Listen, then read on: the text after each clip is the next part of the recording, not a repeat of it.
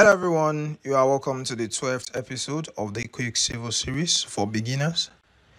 In this episode, I will be showing you another method of creating your stair in Quick Civil series. All right. In the last video, I showed you how you can create it manually, where you go to Sketchpad and you sketch it, and then you know you automatic and you manually create it, and then you get your um result immediately. I mean the design result immediately However, there is another way of doing it automatically that you will not even need to sketch. You will just insert the values and then it will automatically sketch itself, design itself. And then you can now print the calculation sheet. Okay. So in order to do that, just come to design. Then when you are uh, in design, you see this um, automatic staircase design. So you click on that when you click on this then you will see um, this information. It asks you for the number of steps. So if you wish to have a number of steps to be 10 you have this. Let's say this is um 21 for example.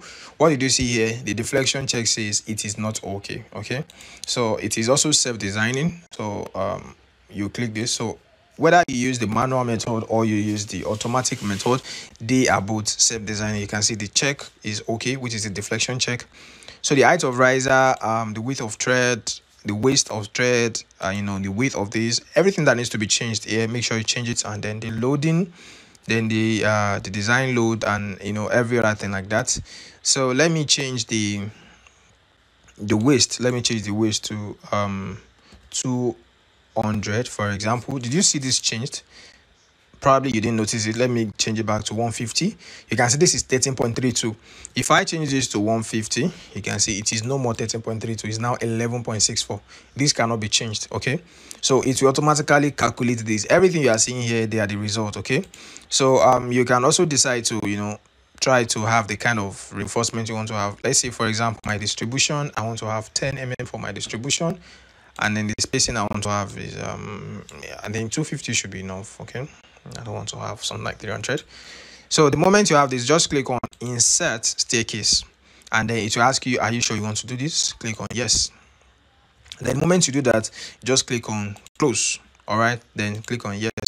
So um, in order to view your staircase, it has sketched your staircase for you automatically. But in order to view it, just come to you know your view tab, and then you can click on the you know the sketch pad view so that it can take you to the sketchpad view. Then you can see that it has sketched your staircase for you automatically.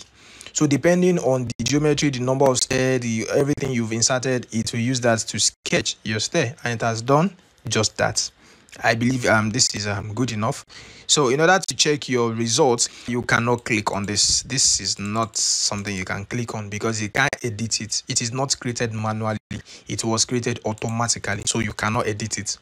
So how can you now see your result, you know, your design result? What is your AS minimum? How is it? Okay.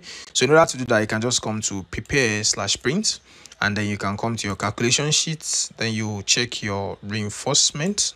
Okay so if you want to change anything here go ahead and change it but i'll just click on prepare calculation sheet. So it will prepare all this for me. Then you can see all that needs to be seen here. You can see your staircase analysis design the loading. You can see um, you know everything that is here. The loading yeah the staircase analysis and design the moment how the moment is calculated. Then the design itself okay the reinforcement design.